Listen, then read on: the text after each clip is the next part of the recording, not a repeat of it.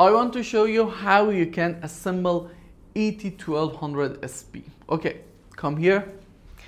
We have a IM interface module as you can see. Uh, I need power supply, okay.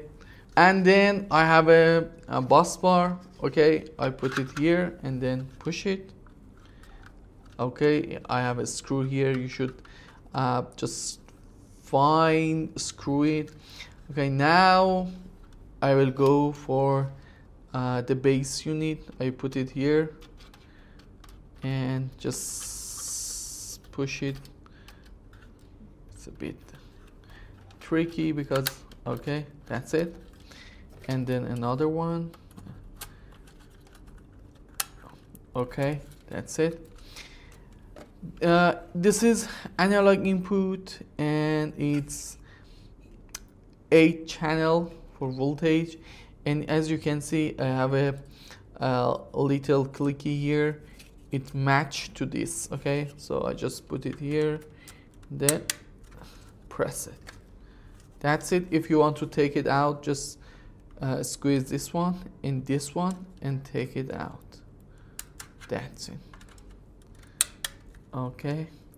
And this is another one analog input input I put it here and just press it okay? And the last one is server module. I just put it here and that's it okay? This is my ET and as you know we have to uh, give it 24 volt okay? This one and this one. Okay come here. For the white one I have to supply the positive and the negative.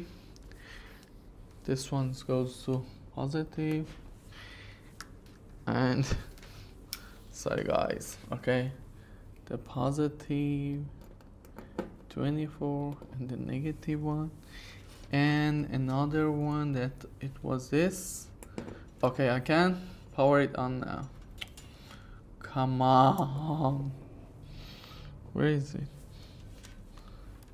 Okay.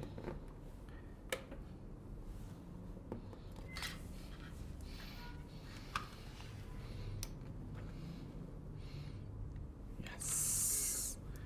That's it. Wait wait a minute. Let's power up come on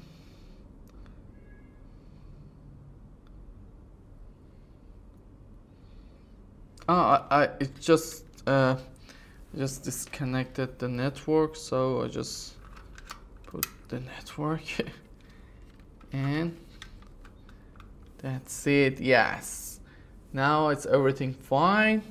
The PLC is fine and it's perfect.